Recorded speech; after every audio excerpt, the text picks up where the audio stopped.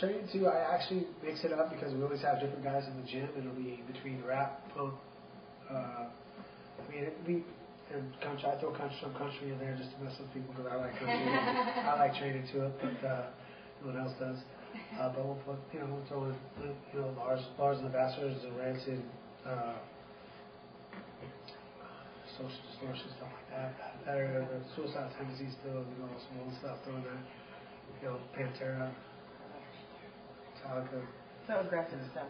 Yeah, Yeah. but and then also, I, like I said, I throw I, I throw country in there, some rap, some stuff like that. So and some always some old school for John, for Hack. I always throw some, you know, some something from from back in the day. It's this this can get make him happy. Do you have any pre-fight rituals that you do? Like, into meditation or? I'm just curious, with any fighter, I mean, I I imagine some people have something that they do. Like, well, Tito, I happened to read in his book, he said he cries before every fight. And, uh, yeah, which, I laugh a lot. exactly, yeah. You laugh a lot. Uh, what, I don't know what, like when.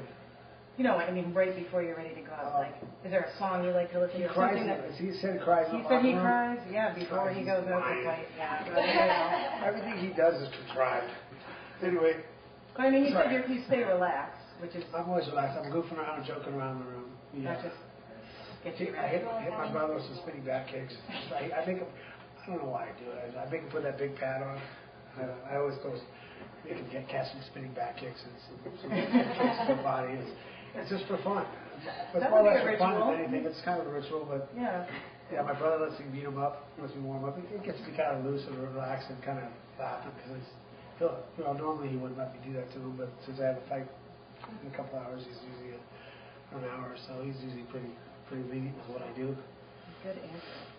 Um, is there anybody that you'd really love to fight that you haven't had the chance to already? Really love the fact that I haven't had a chance to. Um, I don't know.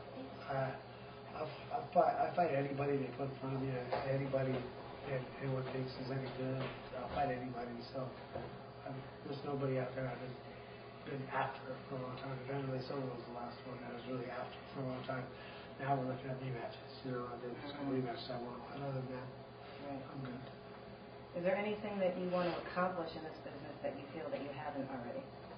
I want my title back, but you know, uh, and I want I want to retire on top. So that's I haven't done that yet. So um, I'm sure you so, will. So, so, so that's what I'm working for. I read that you, uh, you and Hackleman had Tony Robbins Yeah. talk to you. What was that experience like? Did you, I- you know, you guys really feel like you got a lot out of it? Uh, yeah, actually, I did. Yeah. I mean, honestly, like the first the first thing he did when he came out here, I can't say that that was anything that was, you know, you know, I just didn't really get it. I don't think I got behind it as much. And he when he came out, we did a guided meditation uh, the night before.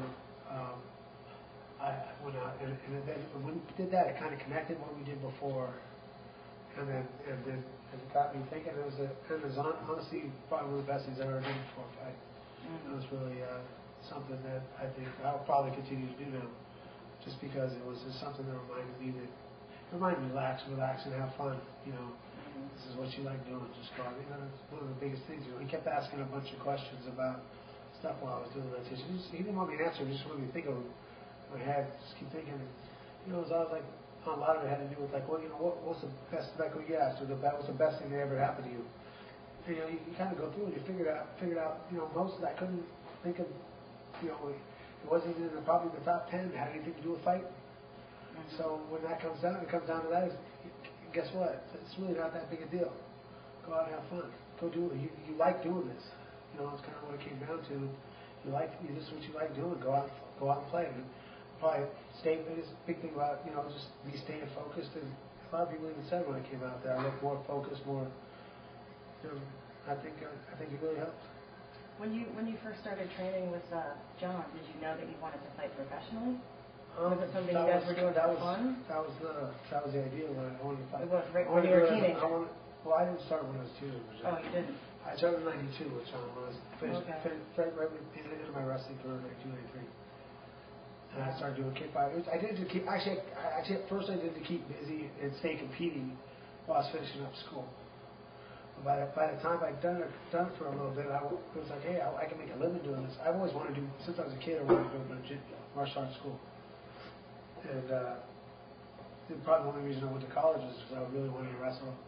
And, you know, just to make my grandparents happy, you know. That's one of the my grandma. That's one reason I didn't go as a PE major was because my grandma didn't think that was a real major. You know, she's old school, and that PE wasn't a real major.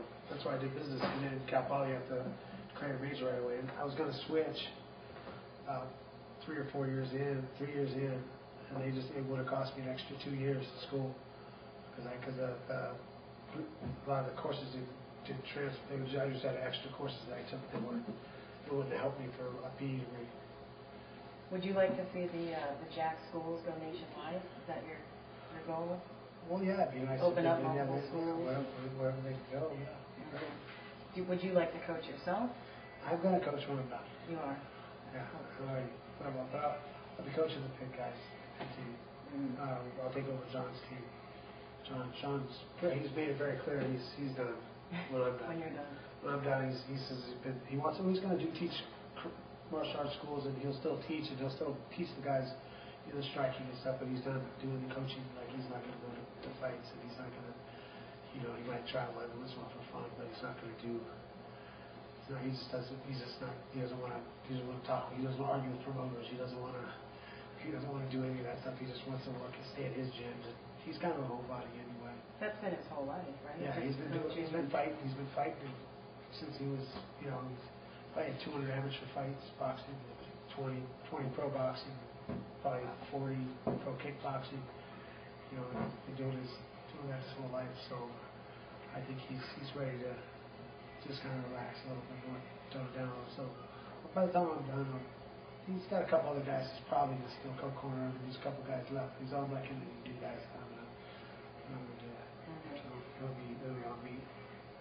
So you mentioned the rematches, obviously, Rampage and Keith Jardine. Yeah. Vanderlei Silva. That's Again, a possible they- one. If they they, want if they want it, that, that, that one's on, I'm not, I don't care as much about, but I- I'm more than willing to do it. I think, I'd love to do it once I get the title, just because I think it should, should have been for the title a long time ago. I'll Or if Forrest wins the belt, obviously that. Uh, of course, of course. I, if he wins the belt, I want the belt first, no, I'll, I'll take care of the rematches when I'm done. Mhm. I get the- It's, it's a lot easier to get those rematches when you have the belt. Right. You know, a lot, a- you know, a lot of times guys don't, they, you know, don't wanna, there's no reason for them to do it. Both like that. Have you ever, uh, in your career, ever thought about changing weight classes? Or have you? Well, There's a possibility going to heavyweight. I, well, I've had people on rumors that I was going down to 185, and I don't know where they were. Wow. Well, I don't know, I don't know who they're talking to. But I, uh, right now, I'm walking around. Yeah, I'm walking around about 225, 226, where I usually walk around off season. Making 85 is not anywhere in my unless, I'm, unless my leg falls off or something. I, I'll make, I'm making that one. Mhm. I, I, it's a pretty, pretty. I mean, I've got it down pretty good, but it's a pretty decent. It's a pretty good cut getting to 205 for me. You know, I've got. I've got the it down, but I could probably make. If I needed to, I could probably make 200. I don't think. I don't think I. I, I got to last 15 pounds and be a bitch. Did you ever think when you started? be, I might like worse than some of those guys on the Ultimate Fighter crying, crying, crying away. Crying in the sauna? Did you ever think when you first No, I promise started? I wouldn't look at you. I wouldn't look like that. Might have to lock me in there, but I, but I wouldn't, it wouldn't make as big a. Did you think when you started in the UFC, or, or, or did you already know that it would grow how it's growing now? Did, did you think it would, like, because, you know, Well, you started I, at a I thought, I honestly thought it would grow. I thought eventually you'd get there. It's just, you know. Um, Has it exceeded your really- expectations? It, well, it a lot faster than I thought it would. It didn't exceed where it hasn't exceeded where I thought it could get. I just thought it did it a lot faster than. But you know, we got on. It was hard to get on free TV, and it was that the reality show thing. It, this was a way for us to get rise to praise. Was a way to get us on TV, and, and it worked. Mhm. It showed people, you know, that showed them that people like to watch us. Right. We get ratings, we get people, you get people watching. People start accepting you a little more for some reason, like the sponsors and uh, oh, we got a lot of people that like these guys. They're top, top. I think we're the top for, for 18 to 30, 34 males. I think we're the top group, uh, top thing to, to be behind. Mhm. I think other than maybe football. I don't know. But that's during part, that's only part of the year, or year round. Are you happy to see that even the other organizations are getting, you know, major network presence? The Elite XC thing coming up and Strike Force on NBC. Yeah, long as they, they put together some good fight cards and good shows, you know. Yeah. Uh, You know, it's, uh, you know, I'm not, not down to. I, hope all, all the, all organizations do well. You know, it's, it's a great sport. Mhm. There's a lot of great fighters out there. It's just, UFC is the best. yeah, she's got, got all the best fighters right now, so most of the best fighters. So. Mhm. Cool. That's all I got. All right. Thanks very much, Joe.